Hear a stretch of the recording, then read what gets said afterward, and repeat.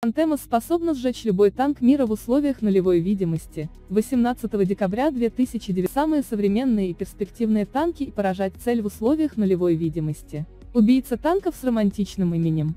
Хризантемос поступила на вооружение в 2005 году. Тогда же началась разработка экспортного варианта комплекса. Была разработана машина командира батареи, созданы экспортные варианты аппаратуры боевой машины комплекса и контрольно-проверочных машин, контрактов. В основе современного экспортного варианта комплекса Хризантемос, базовое шасси боевой машины пехоты БПМ-3 с некоторыми доработками. Машина оснащается дизельным мотором в 500 лошадиных сил, с которой может развивать скорость до 45 км в час по пересеченной местности и до 70 км в час по шоссе. Без дозаправки машина может проехать 600 км. Еще одним плюсом, расширяющим возможности БМП, является способность вплавь пересекать водные преграды со скоростью до 10 км в час. Боевая машина состоит из трех отделений. Отделение управления с расчетом из двух или трех для машины командира взвода, человек, боевого отделения, где находится боекомплект, пусковая установка и система, хранение и подача ракет, и моторного отделения в кормовой части машины с двигателем и трансмиссией. Благодаря использованию базы от BMP-3 Хризантемос обладает высоким уровнем защиты, хорошей проходимостью и в целом сохраняет значительную степень унификации с другой техникой на аналогичной базе. Визуально в движении Хризантемус можно принять за обычную БМП, но когда по команде машина останавливается и поднимается пусковая установка и устройство радиолокации, становится понятно, что первое впечатление ошибочно. Чтобы распуститься в боевое положение, Хризантеме требуется всего 20 секунд. Ракеты в барабане.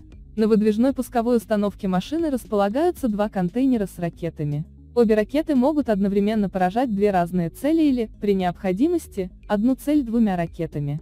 В боекомплекте находится 15 готовых к пуску ракет. Скорострельность хризантемы – до 4 ракет в минуту. Максимальная скорость полета ракеты достигает 650 метров в секунду, то есть превышает скорость звука более чем в два раза. Ракеты хранятся в корпусе машины в устройстве, подобном барабану револьвера. Такая схема хранения и подачи позволяет ускорить перезарядку ПТКК.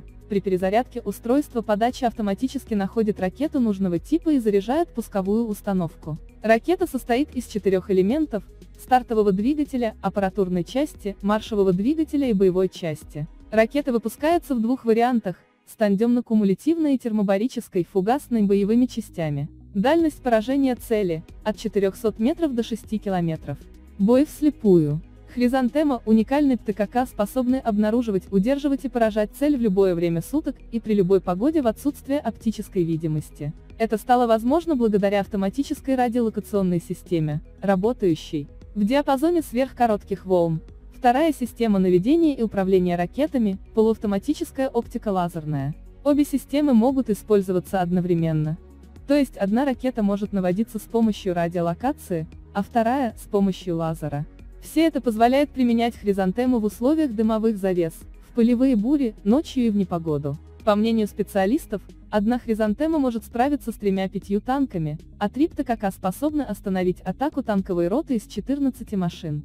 Хризантема сможет поражать не только танки, но и малотоннажный водный транспорт, и низколетящие дозвуковые воздушные цели, например вертолеты.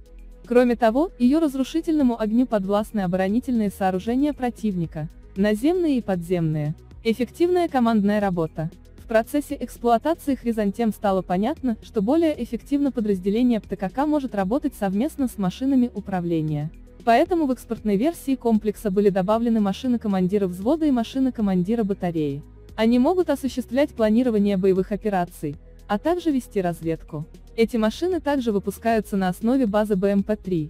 Машина командира батареи вместо ракетного вооружения оснащается пулеметами и дополнительными комплектами средств обнаружения и связи. Также для экспортного варианта Хризантемус был разработан вариант контрольно-проверочных машин на базе автомобиля Урал-4320 с фургоном. С помощью установленного на них оборудования диагностируется как устройство боевой машины,